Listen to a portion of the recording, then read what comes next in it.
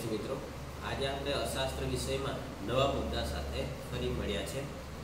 આગળના મુદ્દામાં આપણે શીખી ગયેલા કે સ્તંભ આકૃતિના પ્રકારો.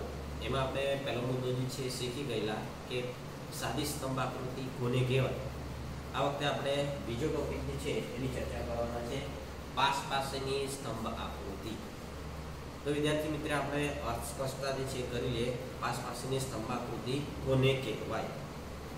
ધારો કે અથવા તો દાખલા તરીકે પાસ પાસેની સ્તંભાકૃતિ એટલે કોઈ એક આધાર પર, કોઈ એક આધાર પર કોઈ ચલના વિવિધ વર્ગોનું મૂલ્ય દર્શાવવામાં આવે એવી આકૃતિને પાસ પાસેની સ્તંભાકૃતિ તરીકે ઓળખવામાં આવે છે.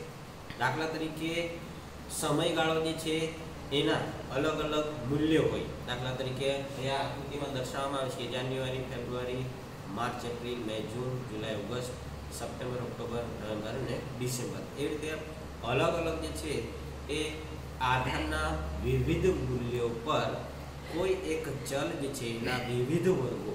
દાખલા તરીકે સ્ત્રી પુરુષનું પ્રમાણ જે છે દર્શાવવું હોય તો એક વર્ષના સમયગાળા દરમિયાન એવા વિવિધ વર્ગો જે છે સ્ત્રી પુરુષનું અલગ અલગ સ્તંભો દ્વારા જે આકૃતિ દોરવામાં આવે છે, એને પાસ પાસેની સ્તંભ આકૃતિ તરીકે ઓળખવામાં આવે છે.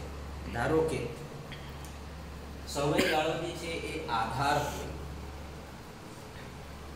ચલ જે છે, સમયગાળો જે છે એ આધાર છે અને કોઈ એક ચલ જે છે એને મૂલ્ય જે છે એ દર્શાવવામાં આવે, જુદા જુદા મૂલ્યો. દાખલા તરીકે અહીંયા આપણે સાક્ષરતાનું પ્રમાણ જે છે ઉદાહરણ તરીકે લીધું છે. એ સાક્ષરતાનું પ્રમાણમાં એક વર્ષના સમયગાળા દરમિયાન સ્ત્રીઓ અને પુરુષોનું જે સાક્ષરતાનું પ્રમાણ જે છે દર્શાવવા માટે પાસ પાસેની જે સ્તંભાકૃતિ દર્શાવવામાં આવે છે. આવી પાસ પાસેની સ્તંભ વિવિધ રંગ કે શેડ દ્વારા દર્શાવી શકાય, આકર્ષક રીતે દર્શાવી શકાય. અહીંયા એક ચોકલેટ બોક્સનું ઉદાહરણ જે છે આકૃતિ અને કોષ્ટક દ્વારા સમજૂતી છે આપવામાં આવી છે, જેને આપણે સમજીએ. દાખલા તરીકે, વિદ્યાર્થી મિત્રો, અહીંયા ચોકલેટ, વિવિધ ચોકલેટ બોક્સો જે છે, એનું શું લેવામાં આવે છે? એકમો કે ચલ જે છે લેવામાં આવે છે. અહીંયા મહિનો જે છે, સમયગાળો દર્શાવવામાં આવ્યો છે.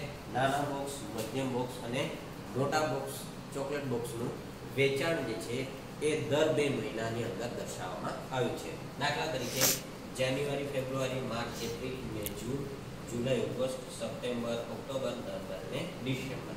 એ રીતે નાના બોક્સ મધ્યમ બોક્સ અને મોટા બોક્સનું વેચાણ જે છે દર્શાવવાનું છે. જાન્યુઆરી ફેબ્રુઆરીમાં નાના બોક્સનું વેચાણ જે છે ત્રીસ બોક્સનું વેચાણ થયું છે. મધ્યમ બોક્સ જે છે એ પંદર બોક્સનું વેચાણ થયું છે અને મોટા બોક્સનું પચીસ એકમો જે છે એનું વેચાણ થયું જોવા છે. આ રીતે વિદ્યાર્થી મિત્રો, દરેક બે દર બે મહિનાના સમયગાળા દરમિયાન મધ્યમ બોક્સ નાના બોક્સ મધ્યમ બોક્સ અને મોટા બોક્સનું વેચાણ જે છે એ અનુસૂચિ દ્વારા દર્શાવવામાં આવ્યું છે.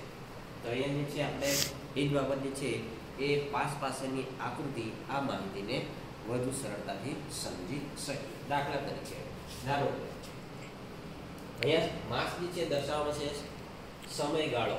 એ શું છે? એ આધાર છે. આધારના વિવિધ મૂલ્ય દર્શાવવામાં આવે છે. જાન્યુઆરી, ફેબ્રુઆરી, માર્ચ, એપ્રિલ બે જૂન, જુલાઈ, ઓગસ્ટ અને એ રીતે ડિસેમ્બર સુધી. તો આ એક આધાર જે છે, એના વિવિધ મૂલ્ય દર્શાવવામાં આવ્યા છે. હવે આ આધાર પર કોઈ ચલ ચલ એટલે કે અહીંયા ચોકલેટ બોક્સ જે છે, ચોકલેટ જે છે એક ચલ છે.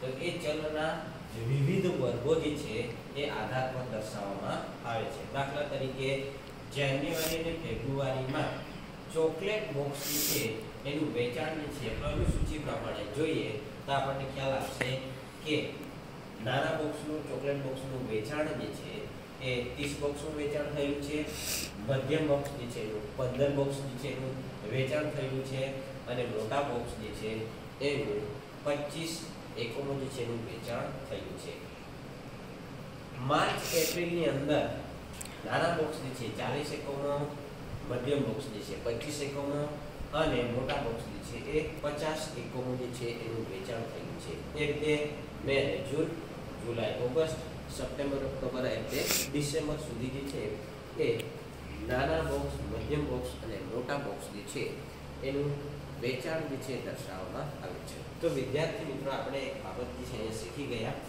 કે કોઈ એક આધાર પર કોઈ ચલના વિવિધ વર્ગો જે છે એ દર્શાવવામાં આવે છે એવી આકૃતિને આપણે પાસ પાસેની સ્તંભાકૃતિ તરીકે ઓળખાવીએ છીએ, જે આપણે વિવિધ સ્તંભો દ્વારા સમજૂતી જે છે એ મેળવી શક્યા.